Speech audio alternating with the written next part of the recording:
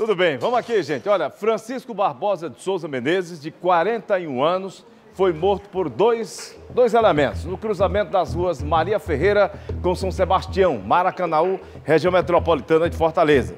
Ele ainda tentou se esconder num bar, mas foi perseguido e atingido pelos disparos. Imagina só o dono do bar. Como é que não ficou? Se esses elementos chegaram lá correram atrás desse rapaz. O rapaz invadiu o bar na tentativa de se salvar dos tiros. Os caras invadiram o bar para atirar. O dono, com certeza, deve ter ficado apavorado, com medo de ser atingido também, né?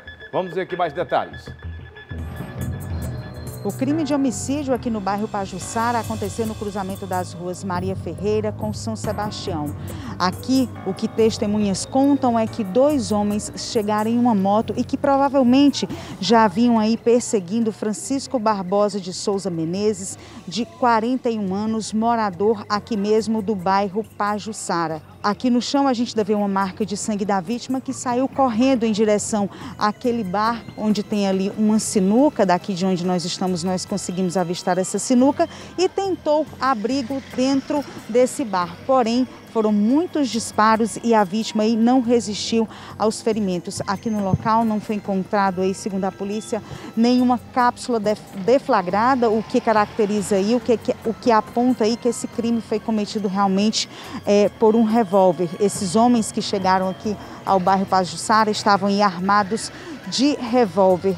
É, o crime aconteceu por volta das três horas da tarde desta quinta-feira aqui no local. Alguns familiares da vítima já estão aqui no local e disseram que não sabiam responder se o Francisco Barbosa teria aí antecedentes criminais. A polícia aqui no local, nesse momento, espera aí a presença da perícia forense e também dos policiais da divisão de homicídios. Aqui no local, vou pedir para o Diego Rodrigues mostrar, a gente não consegue avistar nenhuma câmera de segurança, o que se tivesse iria facilitar o trabalho né, dos policiais no que diz respeito à identificação desses dois homens, né, em que as informações colhidas aqui no local apontam que a história é essa, que dois homens teriam chegado aí em uma moto e efetuado aí vários disparos contra o Francisco Barbosa de Souza Menezes, de 41 anos. Ana Flávia Bezerra para o Cidade 190.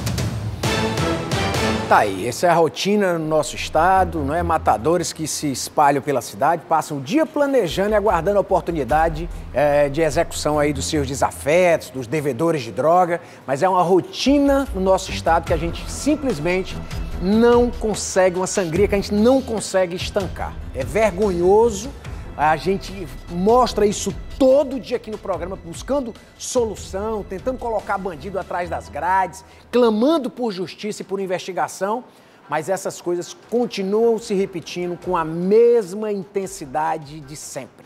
É uma vergonha pública a nossa falta de segurança pública. Essa é que é a realidade.